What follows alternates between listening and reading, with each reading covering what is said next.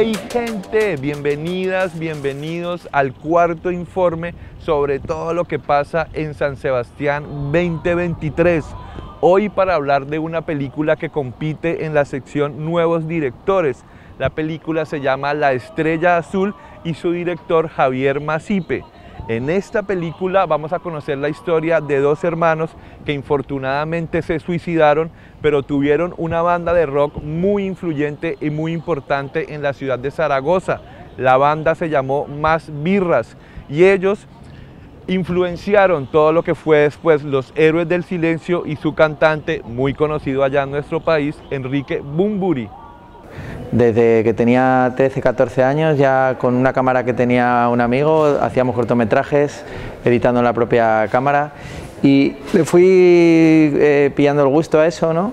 Y también me gustaba mucho la música, yo soy músico, entonces de alguna manera me gustaban las artes, digamos, en general, ¿no? Entonces cuando llegó el momento de decidir qué estudiar, yo ahí todavía no tenía, digamos, clarísimo el hacer cine porque claro, tampoco sabes hasta qué punto algo te gusta hasta que lo empiezas a hacer, pero me decidí un poco por las dos cosas, por, tanto por el cine como por la música, porque eh, como era obligatorio ir a Madrid a estudiar porque en mi ciudad no había escuela de cine, eh, era una oportunidad de ir a Madrid también para poder desarrollar una carrera musical eh, mejor, digamos, ¿no? Cuando empecé a estudiar cine, pues ya me entusiasmé, ¿no? Y enseguida fui haciendo cortometrajes mientras mis estudios, Tuve la suerte de que tuvieron algunos premios, con lo cual enseguida estaba trabajando profesionalmente a la vez que estudiaba y, bueno, y así una sucesión de hechos hasta llegar aquí.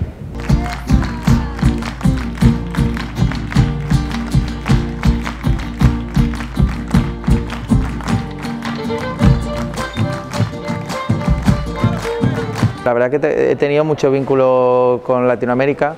En primer lugar, mi primer viaje fue a Cuba porque yo estudié un curso de unos cuantos meses en la Escuela de San Antonio de los Baños y al poco de volver de Cuba tuve la suerte de que me hicieron un encargo de un documental para filmar en Ecuador, precisamente en la frontera con Colombia, en Sucumbíos, en la zona del Putumayo.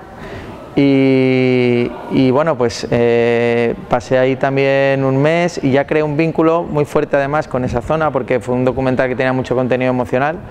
Eh, se llama Dios Padrecitos, el documental. Y ya mi tercer viaje fue a Argentina, precisamente cuando empecé a escribir el guion de la Estrella Azul, porque quería repetir el viaje que hizo Mauricio. La primera semilla fue hace 18 años, porque en uno de mis primeros cortometrajes le pedí permiso a la madre de Mauricio, de la persona en la que está inspirada la película, eh, permiso para poner una canción en uno de mis cortos. Entonces ella lo vio, este cortometraje, le gustó mucho y me dijo que me dio ya la idea, que creía que la historia de sus hijos, que es una historia muy triste, muy dramática, podía dar para hacer una película. ¿no?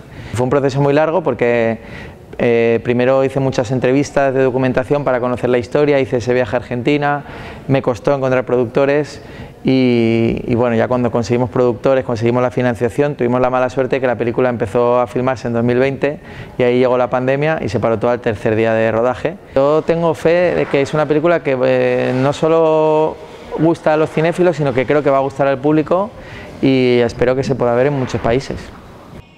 Muchas gracias por ver estos informes gracias al canal del Congreso, al canal Zoom y a los otros canales regionales que nos están emitiendo.